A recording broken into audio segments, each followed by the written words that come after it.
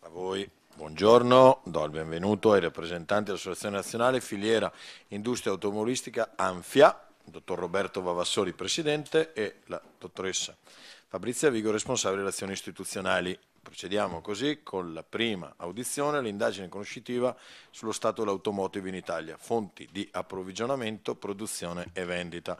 Comunico che ai sensi dell'articolo 33,4 del regolamento è stata richiesta l'attivazione dell'impianto audiovisivo anche sul canale satellitare e sulla web tv e che la Presidenza ha fatto preventivamente conoscere il proprio assenso. Lascio la parola al dottor Vavassori per un totale di 15 minuti. Dopo lascerei qualche eh, domanda eventualmente dai commissari e un'eventuale vostra replica per un totale che non deve superare per organizzazione interna la mezz'ora, ma siamo ampli e quindi tutto, abbiamo tutto il tempo a disposizione. Prego e grazie di essere venuti. Grazie mille, intanto un uh, ringraziamento davvero particolare a voi per uh, l'interesse mostrato nel nostro settore, verso il nostro settore, che è un settore eh, certamente rilevante, rilevante a livello globale, non a caso eh, ogni paese del club dei G7 ha eh, la manifattura dell'automotive tra i suoi pilastri, è eh, innovativo perché a dispetto di quello che si può pensare è il settore che ha il maggior numero di deposito di brevetti all'anno, più delle telecomunicazioni, più dell'aerospace le cui innovazioni tecnologiche di processo e di migliori pratiche eh, vanno a beneficio di tante altre filiere. Non a caso l'aerospace ultimamente sta assumendo molti eh, ingegneri e anche esperti di acquisto da parte del settore automotive perché ci stiamo avvicinando come pratiche, come qualità a quello che viene considerato un po' il top della manifattura. Ultimamente, negli ultimi anni, e non solo per regolamentazione, è al centro di una transizione a più fattori molto sfidante e complessa. Riteniamo utile darvi un po' questa introduzione per contestualizzare il settore automotive italiano, che è certamente il focus di questa breve presentazione. I numeri della filiera automotive, abbiamo detto, è rilevante, è rilevante sì perché in Europa sono quasi 13 milioni gli addetti che lavorano eh, nel nostro eh, comparto, quindi più dell'8% della forza lavoro manifatturiera europea. Garantiamo quasi 400 miliardi di euro di gettito fiscale all'anno a livello europeo. Abbiamo un, eh, un attivo della bilancia commerciale per oltre 100 miliardi di euro rappresentiamo il 7% del prodotto interno lordo e l'abbiamo detto eh, anche eh, quasi 60 miliardi di investimenti in ricerca e sviluppo. Se andiamo al settore invece italiano, rispettivamente l'industria automotive oppure l'industria più, più, i servizi, parliamo di questo un momento, abbiamo circa 1 milione e 280 mila addetti, ehm, abbiamo eh, 71 milioni di gettito fiscale che garantiamo ogni anno alle casse dello Stato. Questo è importante di gettito fiscale, questo è importante perché eh, più andiamo verso per esempio l'elettrificazione del parco, più dobbiamo pensare a come sostituire per esempio le accise sui carburanti in maniera diversa perché certamente lo Stato non può fare a meno di un importo così rilevante di, eh, di provvista. Ma come siamo messi rispetto al, al mondo? Allora, la Cina negli ultimi vent'anni è diventata di gran lunga il mercato di produzione più importante, rappresentava circa il 4% vent'anni fa, voi vedete quel cerchio rosso. Nel 2026 che è domani, è previsto che eh, un veicolo su tre venduto e prodotto nel mondo sia eh, prodotto in Cina e anche per una buona parte venduto in Cina. L'Europa per contrasto dal 2019 ha perso circa 4 milioni di veicoli prodotti. Eravamo oltre i 21 milioni, siamo scesi dopo un piccolo recupero nel 2023, nel, 2000, sì, nel 2023 a 17 milioni e, e 8, ma vedete la previsione al 2026 dovremmo perdere ancora circa mezzo milione di veicoli, quindi questo è il grosso contrasto. Europa in contrazione, Cina che è diventata eh, molto importante. Stabilità degli Stati Uniti è la parte eh, grigio chiaro che vedete sui 16 milioni, 16 milioni e mezzo. Che sfide si trova di fronte la filiera europea dell'automotive? la digitalizzazione spinta di prodotti e processi iniziata, iniziata già anni fa con il 4.0, oggi col 5.0 ma non solo, c'è una digitalizzazione intensa anche dei prodotti che diventano più intelligenti e quindi sempre più sensorizzati e eh, meccatronici. Eh, dal punto di vista della propulsione c'è eh, la spinta oramai irreversibile verso l'elettrificazione e questo apre un discorso molto importante sull'energia perché secondo noi è il tema dei temi. L'energia è il tema dei temi dell'Europa, non certo e solo per muovere i veicoli elettrici, ma prima di tutto per i, prodotti, i processi produttivi. Eh, la nostra filiera si è data l'obiettivo volontario al 2040 di essere net zero nei processi. Questo vuol dire che eh, con dieci anni d'anticipo stiamo tutti correndo a cercare energia verde e a ridurre i consumi e a utilizzare sempre più materiali riciclabili, circolari nei nostri processi. Ma il tema vero per l'Europa in questo momento riteniamo sia la disponibilità di energia rinnovabile, pulita e a costi competitivi che oggi facciamo fatica a trovare. Vi sono poi una congerie di divieti e limitazioni locali dei sindaci del, in giro per l'Europa che non sono assolutamente coordinati tra loro e che quindi creano sconcerto anche eh, negli, nei, nei consumatori, negli acquirenti. C'è poi quella che io chiamo la bulimia regolatoria europea, particolarmente in questa eh, commissione che sta terminando i lavori, e, dall'Europa promana più del 90% della regolamentazione del nostro settore, quindi è fondamentale che in Europa ci sia un presidio forte da parte del nostro, eh, del nostro governo e del nostro Parlamento. Vi faccio un esempio solo, l'Euro 7, la CO2 per i veicoli commerciali, l'End of Life, l'Ecodesign, il CBAM, il REACH piuttosto che i Critical Material, sono una serie di norme non sempre coordinate tra loro che tutte vanno a convergere sullo stesso settore, sullo stesso, sulla stessa filiera e sullo stesso prodotto. Come in una partita di pallacanestro noi chiediamo time out, dobbiamo risettare un attimo il, il il quadro anche perché nessuno di questi, eh, di questi, provvedimenti è, come amo dire io a Bruxelles, competitivo in senso proprio, quindi che rende più competitiva la filiera e più competitive le nostre aziende in Europa rispetto al resto del mondo. Quindi è una bulimia purtroppo che si avvita un po' su se stessa. Siamo l'unico settore con una richiesta regolamentare di net zero al 2035, non c'è un altro settore, non la moda, non il food, non il furniture, non, non, i mobili che hanno la stessa richiesta e sta montando, avete visto prima, una competizione dall'Asia in tutti i sensi assolutamente ehm, forte e eh, una pressione rilevante. La nostra filiera, uno dei temi rilevanti lo vedete qui espresso in numeri, in realtà qui se ne vedono già un paio. Intanto l'estrema frammentazione del nostro settore. Per 56 miliardi di fatturato nella componentistica, divido componentistica e costruttori, abbiamo più di 2.000 imprese, che diventano oltre 5.000 se consideriamo anche chi contribuisce per una parte della propria produzione, penso ai bulloni, penso a, ad altri prodotti, eh, non quindi integralmente per l'automotive, ma anche utilizzati nell'automotive. Quindi la dimensione eh, la numerosità delle imprese, perché vedete gli OEMs ne contiamo 45, ma voi sapete ce n'è solo uno poi di volume eh, che, che abbiamo in Italia, per un fatturato non eclatante e per un numero di addetti che qui già vedete è molto maggiore nella componentistica, quasi tre volte rispetto a quello della, ehm, della produzione di veicoli e questo lo spieghiamo eh, tra pochissimo. Altra cosa che qui si vede è che abbiamo un saldo commerciale eh, pesantemente negativo nel eh, settore dei veicoli, perché ne importiamo molti di più di quanti ne esportiamo.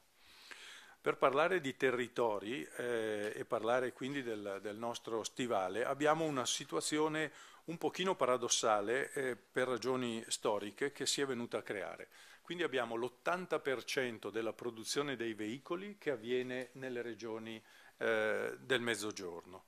Mentre per converso, e qui vedete quanti stabilimenti, scusi, quanti stabilimenti abbiamo, e questo vi dice che per produrre poi il volume che vedremo certamente c'è un eccesso di eh, stabilimenti eh, detti in maniera molto, molto, cruda tra di noi. Dal punto di vista aziendalistico è difficile eh, come dire, gestire una, numerosi, una, numerosità di questo tipo. Per converso, quasi l'80% della produzione invece dei componenti avviene nelle regioni fino all'Emilia-Romagna. Eh, Lombardia e, e, e, Piemonte da sole cubano quasi il 70%, poi ci aggiungiamo il 10% di Emilia-Romagna e l'80% di produzione di componentistica avviene in queste poche regioni. Ecco, qui c'è un altro dato molto importante che forse molti di voi conoscono o forse non tutti. Oltre il 70% del valore di ogni veicolo è costituito dai suoi componenti e questo spiega un po' il perché abbiamo 166.000 addetti nella parte di componentistica e abbiamo solo, tra virgolette, oltre 60.000 addetti nella parte di produzione di, eh, di veicoli.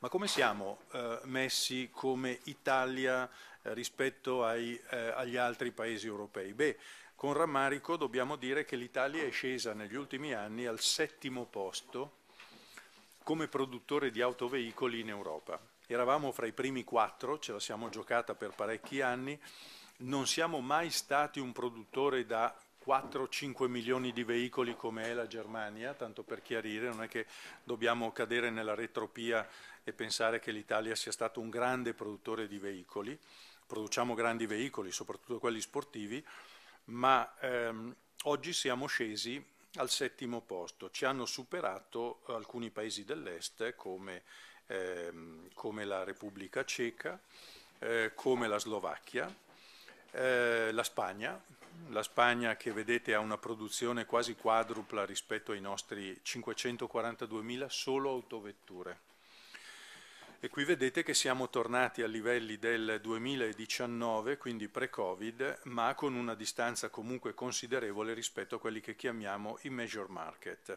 E comunque ce ne mancano 200.000 di autovetture rispetto al 2017. L'ultimo anno Felix che mi piace ricordare. Poi abbiamo Belgio, ecco però vedere l'Italia che a livello di una produzione automobilistica come quella del Belgio, francamente non è che ci entusiasmi, o come quella dell'Ungheria, saremo superati tra poco dall'Ungheria perché la decisione di BYD di eh, stabilire una, un sito di produzione in Ungheria è chiaro che contribuirà per 150-200 mila veicoli ulteriori alla loro, alla loro produzione. Se non solo le autovetture, ma eh, contiamo anche i veicoli commerciali, eh, il numero diventa leggermente superiore, diventa di 880.000 veicoli, vedete la parte blu scuro, i 542.000 veicoli che sono le autovetture di prima e poi si aggiungono i veicoli commerciali. Per la più parte questi sono veicoli commerciali leggeri, eh, quindi i nostri Ducato eh, famosi prodotti ad Atessa oramai da parecchi anni con grande successo devo dire e poi qualche veicolo Iveco e qualche veicolo speciale purtroppo solo pochissimi autobus 400 autobus prodotti eh, l'anno scorso in Italia a fronte di una richiesta di più di 5.000 autobus eh, perché ovviamente abbiamo un parco circolante estremamente vecchio e già da anni Anfia con i vari, coi vari eh, governi che si sono succeduti ha proposto piani almeno decennali di rinnovo intenso del nostro parco di autobus. Allora, quella era la produzione, qui invece vedete il dato del mercato, cioè quanti veicoli vengono venduti in Italia. Qui vedete la discrasia tra i 542.000 veicoli, la parte blu scuro di prima, e il 1.565 di adesso, tre volte tanto. L'Italia è un unicum in Europa, forse eh, anche nel mondo, per ehm, da un lato produrre veicoli e dall'altro consumarne il triplo. Ovviamente non ci deve essere una corrispondenza uno a uno, questo sarebbe una cosa poco, poco, sensata e poco logica, soprattutto in un mercato che vede sempre più la presenza di piattaforme globali, quindi io ho una piattaforma su cui costruisco vetture diverse tra di loro, dalla Spider alla Coupé alla familiare al SUV, usando quasi tutti gli stessi componenti, in giro per il mondo e con 10-12 marchi diversi. Questo è il concetto che oggi è invalso nel nostro settore. Si parla di piattaforme globali. E parlando di piattaforme globali è chiaro che la dimensione che abbiamo visto prima è un limite per le nostre aziende perché devono essere in grado di proporre la stessa qualità e di offrirsi per produrre in Asia, per produrre quindi in Cina, per produrre in Europa, per produrre negli Stati Uniti esattamente con la stessa qualità, mentre invece alcune delle nostre aziende hanno per eh, orizzonte al, eh, al massimo l'Europa. Quali sono le sfide peculiari della filiera italiana? Siamo oramai verso la, la conclusione di questa prima carrellata. Intanto l'avete visto, c'è un forte sbilancio tra produzione e vendita. Abbiamo per ragioni storiche poi un, grosso, un solo produttore di grosso volume, che è Stellantis, oggi dopo le varie, le varie, trasformazioni. Faccio un piccolo inciso su Stellantis. Stellantis ha prodotto l'anno scorso in Italia 752.000 veicoli, includendo anche i veicoli commerciali di Atessa. Um, questi veicoli sono molti di più di quelli che ha prodotto l'anno scorso in Francia questo perché ogni tanto sui giornali si legge mai attrazione francese o un'attrazione francese. Eh, Carlos Tavares negli ultimi cinque anni ha ridotto in Francia la produzione dei veicoli Stellantis di oltre 500.000 unità, chiudendo due stabilimenti, nonostante le lamentele del ministro Le Maire, eccetera. Ne ha ridotti molti meno in Italia. L'unico paese che oggi noi vediamo come concorrente dal punto di vista dell'universo Stellantis riguardo alla nostra filiera è la Spagna. La Spagna per una serie non solo di condizioni competitive, tipo l'energia, eh, la facilità di eh, assumere e riorganizzare aziende, il costo del lavoro, eh, eh logistica, ma anche il fatto che Stellantis, essendo il risultato di diverse aziende, si è trovato in Spagna uno stabilimento di Opel, uno stabilimento di Peugeot, oltre a uno stabilimento di Fiat. Quindi l'insieme di queste cose già ha creato una base produttiva che eh, era molto consistente rispetto a quella che noi abbiamo in Italia. Uh, la dimensione aziendale media, l'ho detto prima, è inadeguata rispetto alle sfide perché se noi abbiamo un'azienda brillante di 30, 35, 40 persone è difficile che questa azienda possa giocarsela nelle offerte, nelle richieste d'offerta che una Stellantis, una Mercedes, una BYD ti crea a livello mondo per, per, le loro piattaforme dove tu devi essere in grado di garantire volumi e qualità e quantità e costo eh, omogeneo in giro per il mondo. Questo è, una, è, un grosso, è un grosso tema. Essendo piccoli c'è anche una limitata capacità di investimento in innovazione. Se posso, eh, se posso dire, vostro, dire, per vostra informazione, tra i tanti meriti dell'era Marchionne, eh, un demerito, a mio modo di vedere, è quello che eh, non siamo stati in grado durante quel periodo di esprimere una piattaforma globale per cui anche la eh, Giorgio, la piattaforma Giorgio su cui viene costruita oggi la Stelvio piuttosto che la Giulia, abbiamo il merito di averle sviluppate bene in un garage di Modena, ma certamente non con i criteri necessari a farle diventare piattaforme globali. Ecco perché nel mondo Stellantis oggi siamo a trazione francese, marcatamente Peugeot, soprattutto per le piattaforme esistenti. Le nuove piattaforme, quelle che verranno anche prodotte in Italia, seguono concetti abbastanza, abbastanza diversi. Il nostro sogno come Anfia, sogno sognabile, è di portare una piattaforma a essere completamente ingegnerizzata e sviluppata con le risorse italiane. Abbiamo anche ulteriori sfide che si aggiungono a quelle che sono un po' diciamo, insite nel nostro DNA, che sono quelle poste dalla regolamentazione europea almeno una parte di quella che vi dicevo prima bulimica. E qui abbiamo, vedete, al 2035, eh, non ancora oggi smarcata completamente, la eh, ideologia che vuole eh, un solo tipo di, ehm, di motorizzazione e che è, una, è, uno zero locale, perché ovviamente col medio mix energetico europeo il fatto che non inquino localmente non significa che quando attacco la macchina alla spina non sto emettendo il 60% di combustibili fossili bruciati per produrre l'energia che mi occorre. No, noi siamo per la neutralità tecnologica, per disegnare una transizione intelligente al 2035 rispettando queste sfide ma capendo che eh, abbiamo bisogno di ogni possibile vettore energetico a bassa o nulla eh, emissione carbonica. Quindi quello è un diktat che con la nuova Commissione dobbiamo superare. Abbiamo avuto un approccio di questo tipo, sono nove gironi, non sono danteschi, oppure se sono danteschi sono, speriamo, il paradiso e non l'inferno, partono dallo stabilimento, ma lo stabilimento, eh, lo stabilimento è la partenza, ma certamente non è eh, l'arrivo, perché richiede, avete visto prima, di avere componentisti competenti e competitivi all'intorno, perché il 70% di quello che assembla lo stabilimento arriva da loro, per avere componentisti in gamba e competitivi ci vuole ricerca e sviluppo, quindi la qualità delle persone che in Italia è elevata, è uno dei pochi punti di forza dove l'Italia può giocarsela, la qualità sia delle persone di ricerca e sviluppo e la flessibilità delle persone eh, sulle linee produttive. Abbiamo bisogno di un sistema formativo adeguato. Eh, ci dobbiamo rivolgere ai territori perché è lì che le nostre aziende poi vanno a lavorare, quindi abbiamo bisogno di processi autorizzativi, di processi di accettazione della presenza delle aziende sempre più sviluppati. E poi su su andiamo a chiedere eh, sia alle regioni ma soprattutto a livello governativo le infrastrutture necessarie e qui parlo per esempio di fattori energetici, di eh, sistemi che funzionino per import-export, i porti, la logistica integrata e ci vuole un quadro normativo di riferimento adeguato perché oggi è uno dei limiti grandi per un investitore che pensa magari di arrivare in Italia con qualche investimento e alla fine solo se tu hai tutto questo in ordine eh, puoi andare da, lo dico male, da un Elon Musk e proporre uno stabilimento in Italia. Ecco, ma lo stabilimento è il punto di arrivo e di partenza di un processo molto più complesso. Um, L'anno scorso, parlando di veicolo elettrico, per il primo anno dopo 20 e rotti anni, il veicolo più venduto in Europa non è stato il classico modello Golf, ma è stata un'altra vettura prodotta in Germania, quindi in Europa, totalmente elettrica. È stato il Model 3 della Tesla.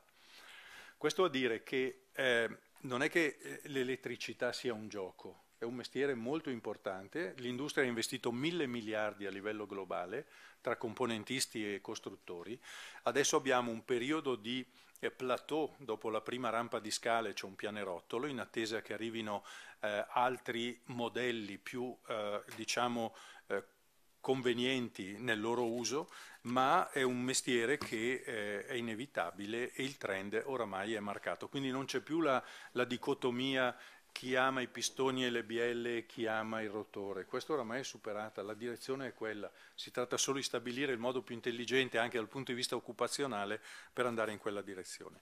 Noi abbiamo avuto come Anfia un approccio di sistema, abbiamo salutato con favore l'incrocio che si è creato col MIMIT, abbiamo firmato un protocollo d'intesa del settore automotive italiano che crediamo abbia eh, all'interno degli ingredienti di, di novità per come stiamo cercando di affrontarlo. Quindi, quello che, eh, per cui vi ringraziamo ancora oggi è il primo momento di audizione, chiediamo se possibile venga seguito da un secondo momento perché nel giro di poche settimane avremo terminato questo studio che produrrà eh, dire, dei dati molto interessanti, crediamo anche per voi, e quindi vorremmo tornare a presentarveli perché sarà una sorta di eh, dashbook della, e una roadmap, anche una, una, una, strada da seguire del nostro settore. Cosa contiene questo, questo studio che stiamo eh, promuovendo? Ci stiamo dedicando tutti in Anfia, abbiamo anche un consulente esterno, abbiamo coinvolto regioni, eh, lo vedremo tra un attimo. Allora intanto vogliamo raggiungere almeno un milione di veicoli annui. Li stiamo chiedendo intanto al costruttore nazionale, quello che è già sul nostro territorio, ma stiamo anche cercando di allargare il campo eh, a eventuali altri produttori. Devo dire qui ovviamente ce la giochiamo con l'Ungheria, con eh, con la Spagna, però avete visto che quel mattacchione, tra virgolette, di Elon Musk è andato nel cuore della Germania a mettere il primo stabilimento da mezzo milione di vetture e da lì eh, ha, fatto, eh, ha fatto venire fuori il modello più venduto l'anno scorso, per esempio. Quindi anche noi dobbiamo essere un po', eh, come dire, immaginifici. Um, ci vuole un grosso sostegno agli investimenti per la riconversione produttiva delle aziende della componentistica, quelle che non saranno più eh, dipendenti un domani dalla produzione dei motori endotermici, se non per una parte, e quindi c'è bisogno di un aiuto forte di una direzione. Quello della ricerca e sviluppo è fondamentale perché non vogliamo diventare, fatemi dire, il Marocco di adesso dove eh, ci sono grossi fattori di convenienza produttiva, le piccole quadri, quadricicli, le piccole vetturette elettriche che vedete anche la Topolino viene prodotta in Marocco eh, e per ora senza grossi contenuti di ingegneria, ma ovviamente noi dobbiamo considerare il Nord Africa i paesi del, che si affacciano sul Mediterraneo in qualche modo come la nostra Cina, cioè dobbiamo essere capaci di regionalizzare eh, questi paesi eh, portando le nostre aziende anche là e non facendoci solo eh, arrivare competizione dall'altra parte del Mediterraneo. Um, dobbiamo creare nuove figure professionali. La invito, la invito, a chiudere perché abbiamo sforato wow. del doppio. No. Però, insomma, allora. però siccome si è autoinvitato un'altra volta, noi accogliamo il suo autoinvito Scusate, e quindi allora, le garantiamo che sarà la nostra premura no, allora, riaudire. No, no, abbiamo cinque eh, tavoli operativi eh, dove abbiamo voluto includere, questo è il vero cuore del lavoro, governo, territori, quindi le regioni, le regioni automotive, l'industria e le parti sociali. Secondo noi è un metodo di lavoro inclusivo e concreto. I risultati vorremmo illustrarveli in un'altra occasione. Grazie e scusate. No, no, grazie, grazie, a lei, grazie a voi.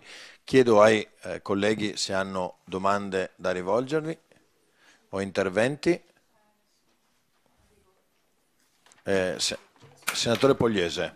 Grazie Presidente. Credo che questa audizione sia stata molto proficua, molto interessante. I dati che sono stati esternati sono altrettanto interessanti. Io vorrei chiedere conferma, se non ho fatto male i conti rispetto a quello che lei ha esternato, caro dottore Vavassori, il saldo commerciale, sia ovviamente includendo il settore della componentistica con quello della produzione, mi risulta negativo di 8 miliardi e 2, credo, se ho fatto bene i conti. Credo che questo dato sia molto, ma molto... Quindi mi conferma, perfetto. Questo dato credo che sia certamente non entusiasmante, molto negativo, soprattutto se comparato con un altro dato che lei ha evidenziato rispetto ovviamente alla produzione italiana dove siamo in questo momento i settimi in Europa. Io lo dico con estrema sincerità, con altrettanta umiltà, non mi sarei mai aspettato di ascoltare questi dati così pesanti, avrei, non avendo competenze nel settore, immaginato un quarto o quinto posto, ma arrivare settimi in Europa in questo momento credo che siano dati assolutamente preoccupanti. Credo che quello che è stato invece poi da parte vostra anche esternato alla fine come obiettivi da, da raggiungere sul, sulla produzione complessiva di un milione di veicoli, credo che rappresenti un obiettivo assolutamente condiviso, ritengo ovviamente non soltanto dal Parlamento ma anche e soprattutto dal Governo, un obiettivo verso cui dobbiamo certamente tutti tendere e credo che quello che sta facendo il Mimit in tal senso sia altrettanto importante, l'ha evidenziato lei e credo che sia fondamentale che si lavori in assoluta sinergia perché ho avuto modo di vedere anche altri dati, ma eh, certamente abbiamo delle criticità oggettive che lei ha evidenziato sul tema anche della distribuzione territoriale degli impianti in Italia, molto molto articolata, probabilmente frutto di alcune normative del, del, passato, cassa per il mezzogiorno, tutto quello che ne è conseguito, però poi magari abbiamo lasciato delle cattedrali nel deserto all'interno di di alcuni territori e quindi credo che ci sia la necessità anche di un lavoro assolutamente sinergico fra il principale produttore in Italia, che magari nel passato ha ottenuto ingenti risorse pubbliche per poi immaginare percorsi di delocalizzazione di impianti produttivi al di fuori del confine nazionale e talvolta al di, al di fuori del confine europeo. Quindi credo che una riflessione debba essere fatta in assoluta sinergia fra chi produce e ovviamente chi governa il Paese. Grazie. Senatore, Grazie a lei. Senatore Bergesio, prego, raccogliamo tutte e poi le do la parola e rispondo.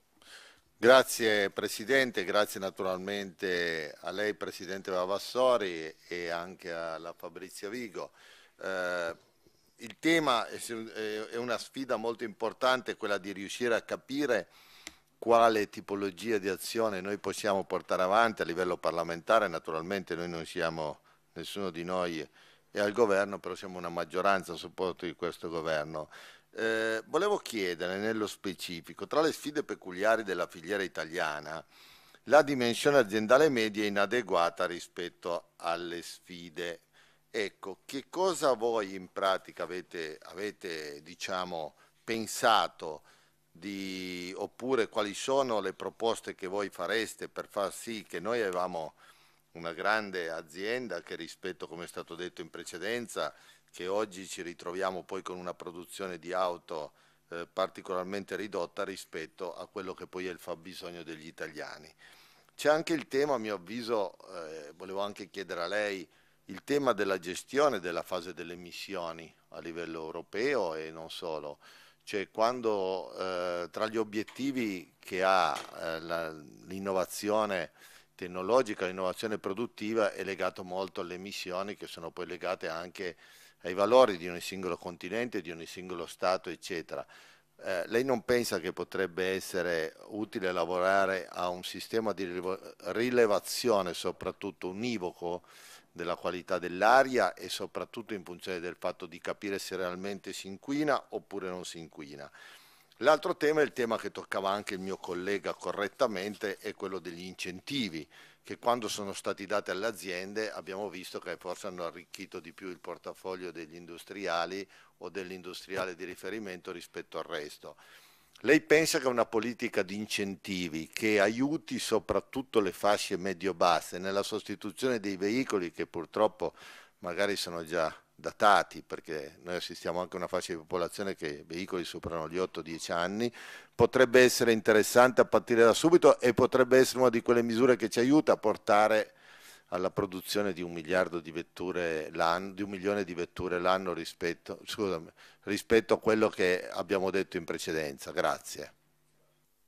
Grazie senatore Bergesio, se non ci sono altri... Senatore Nave, prego. Grazie Presidente.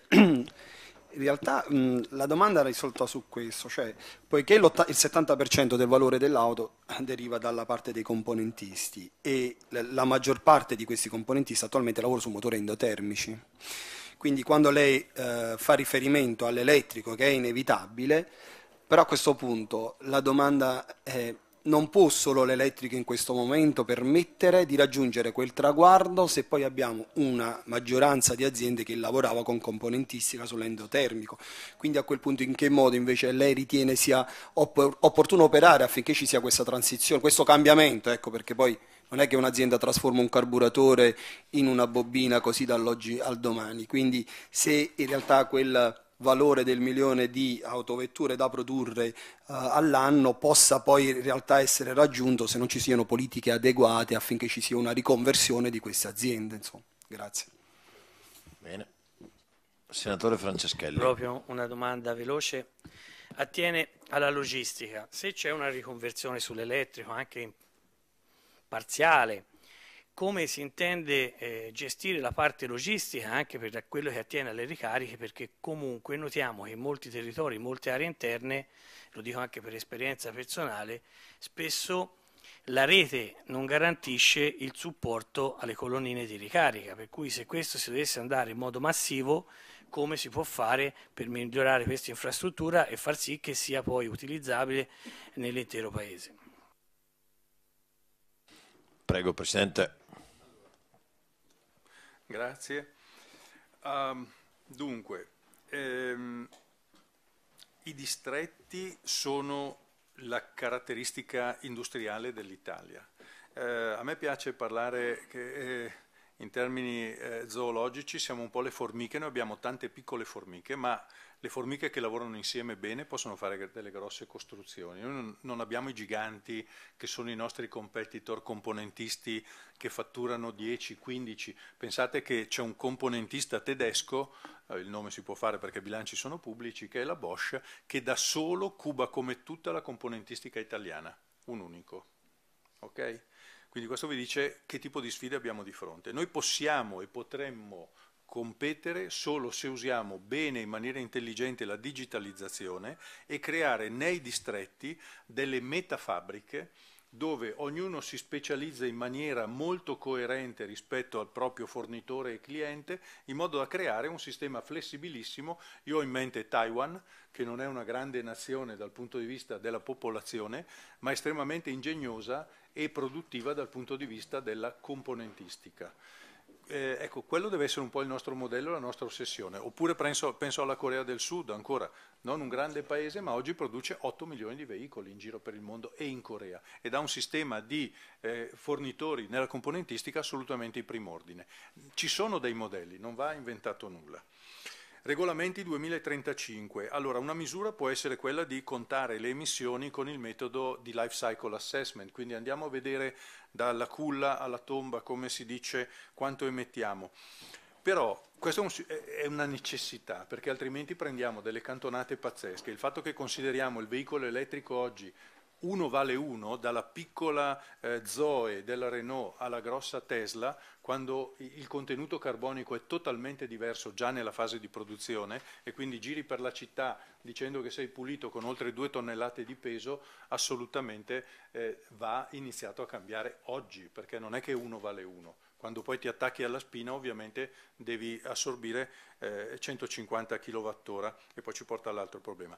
Il vero tema qui è attendere però i combustibili fossili si esauriranno, oltre che essere dannosi, si esauriranno, quindi siccome il resto del mondo va in quella direzione, la piccola Italia che abbiamo visto proprio un'italietta dal punto di vista produttivo, guai se rimanesse a baloccarsi con pistoni e bielle, anziché cercare di prendere il proprio posto nel, mm, nel mondo che sta, che sta arrivando.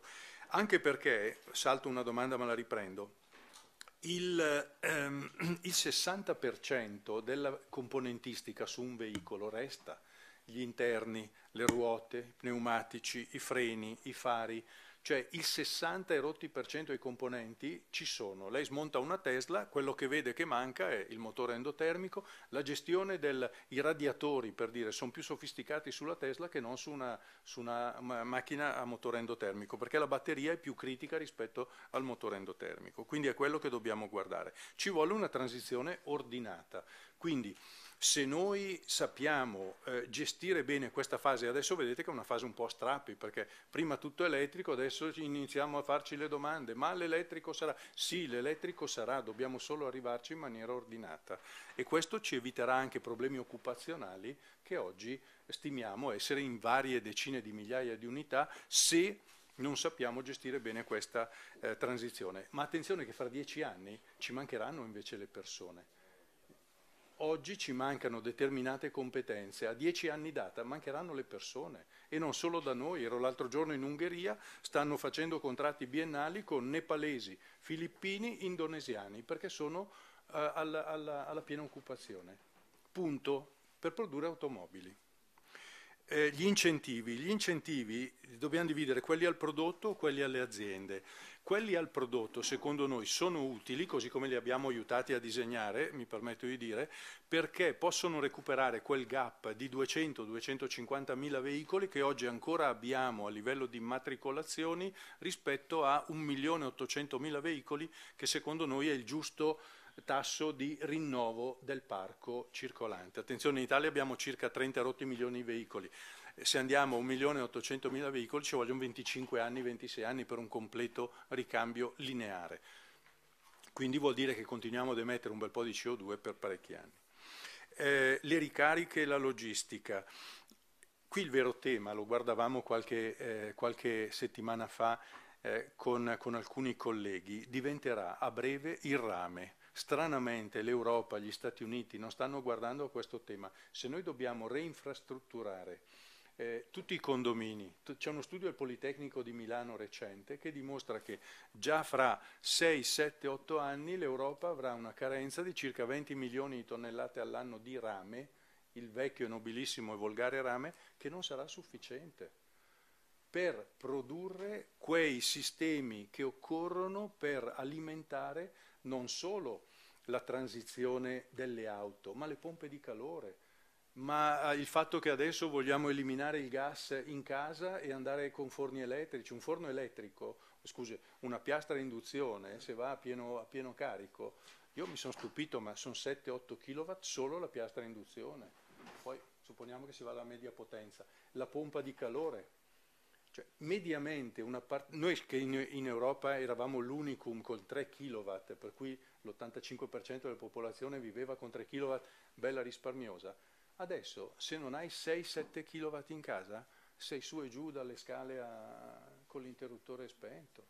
Cioè, questo è molto più critico della infrastrutturazione delle ricariche, perché io guido elettrico e anche altre cose da parecchi anni, come sali in macchina vedi la mappa di dove puoi ricaricare e non è che ricarichi tutti i momenti, francamente oggi.